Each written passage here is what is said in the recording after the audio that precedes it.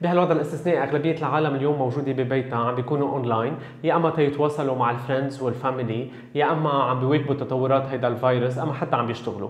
أما ال brands في منهم كفوا كأنه business as usual بس في منهم وقفوا كل ال activities تبعهم على مواقع التواصل الاجتماعي. لهول ال brands أما لل social media experts رح أحضر هيدا الفيديو. بركي أقدر أعطيكم ستة new ideas تزيدوهم أنتم على ال social media calendar تبعكم بهالمرحلة الدقيقة.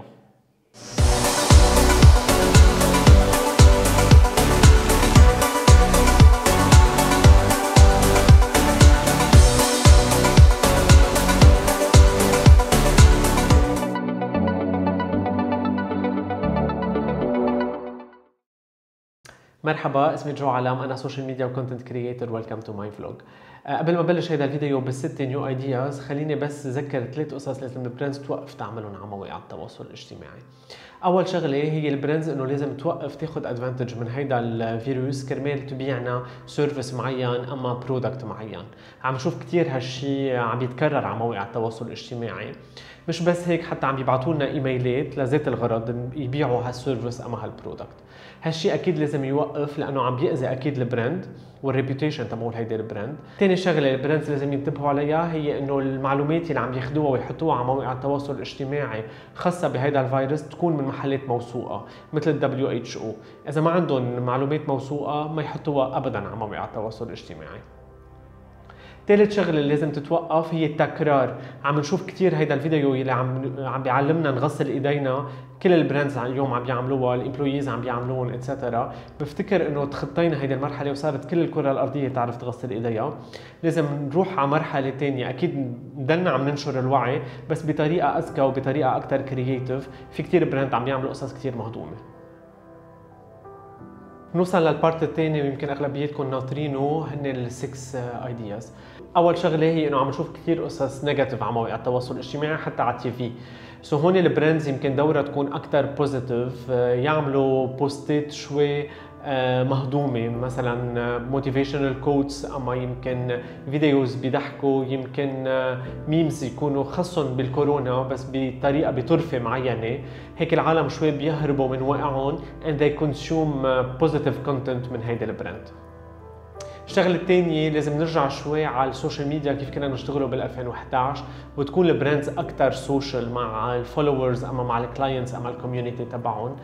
ويعملوا post to engage مع هيدي ال community كيف يسألون أسئلة سمبل كويستشنز مثلا شو عم بيعملوا اليوم آه، هن موجودين ببيتهم أما حتى شو هن ال goals اللي عندهم إياهم وقت تخلص آه، الكورونا. إنه definitely هيدي مرحلة صغيرة ورح تمرق.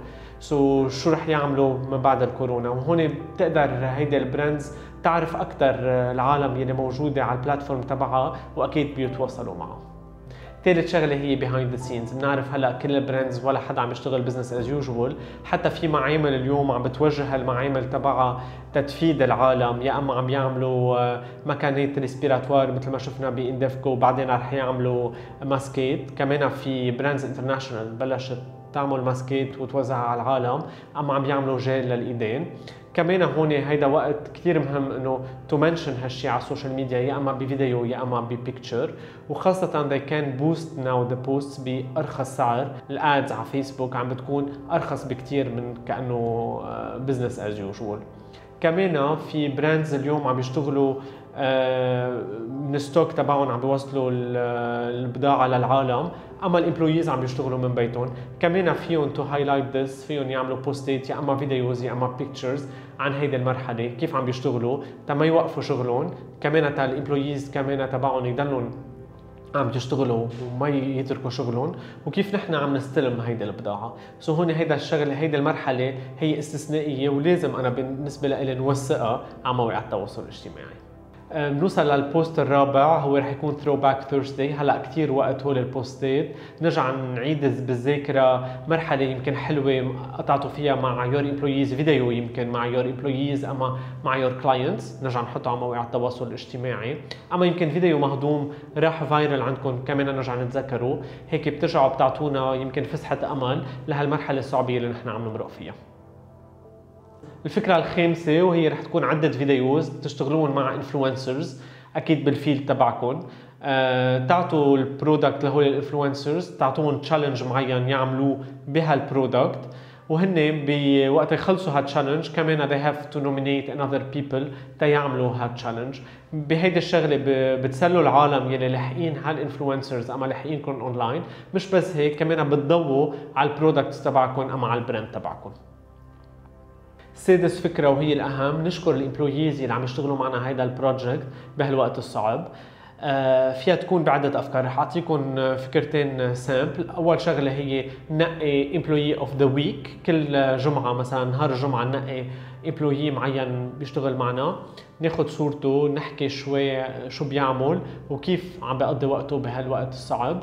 أما small video هو يخبرنا كيف آه، عم يشتغل من بيته يمكن أما من محل تاني.